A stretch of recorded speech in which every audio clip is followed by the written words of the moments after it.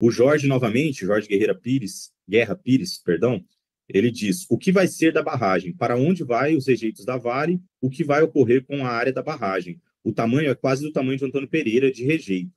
É, então, também é, a Luciana pode dizer, né, é, o que vai acontecer com esse rejeito que está sendo descaracterizado na estrutura.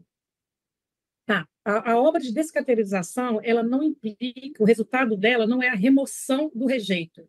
Né? Então, aquele maciço de solo que lá, né, quando foi, foi, houve o acúmulo né, do, do, do, do rejeito ali na, naquela barragem, continha água.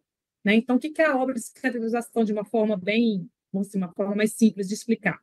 Ela se baseia praticamente na retirada da água, não tem mais reservamento né, reservação, desculpa, de água, né, no, lá na crista, né, no ponto mais alto, e também, é, se necessário, né, fazer esses reforços para garantir estabilidade. Então, o material só dele vai ficar ali. Então, a partir do momento que a gente retira a água, né, a capacidade de armazenar água, que é aquele regrade que eu mostrei, que ele tem aqueles canais de pedra lá, de agregados, ele vai receber toda a água que vem né, da, da, da, serra, que vai vir da chuva, toda essa água vai cair, vai ser conduzida pelos grandes canais estão direcionados para aquele vertedor de concreto, que, por sua vez, né, tem um deságue no ponto mais baixo, né, é, lá no, no, final dessa, desse, desse circuito.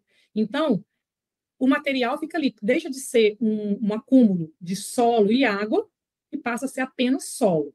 Então, a partir de uma a descaracterização é tirar, né, vamos dizer assim, não ter mais ali armazenar água. Então, isso faz né, que fique apenas uma, uma, uma, uma, dizer assim, né, uma pilha de solo. Então, aquele rejeito não vai ser levado para lugar nenhum. Ok, Luciana, obrigado.